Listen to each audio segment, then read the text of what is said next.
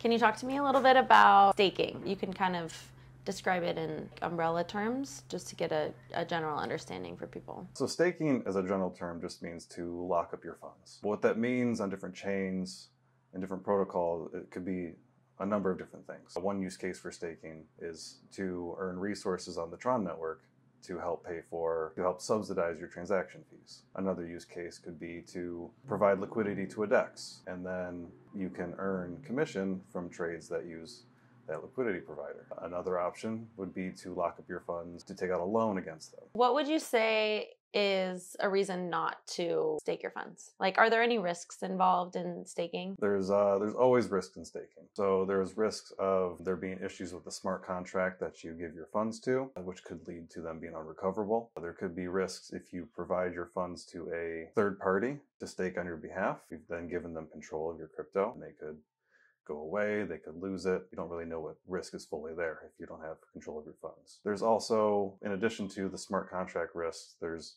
blockchains that have kind of like built in staking mechanisms, but you're still trusting that developers and the nodes, you're still trusting that the, the code works and that your funds won't get locked up and require some kind of emergency mechanism to release them. Are there any ways that someone could maybe minimize their risk at all? Like, can you audit code, or how would someone know if something is like a, a good staking opportunity versus a bad? So, without analyzing the code and understanding exactly what happens to your staked funds, I think really users should just be wary of staking opportunities that seem too good to be true. So, if a, an entity or a contract claims that they can provide, you know, exorbitant APR on your funds, it could be a scam.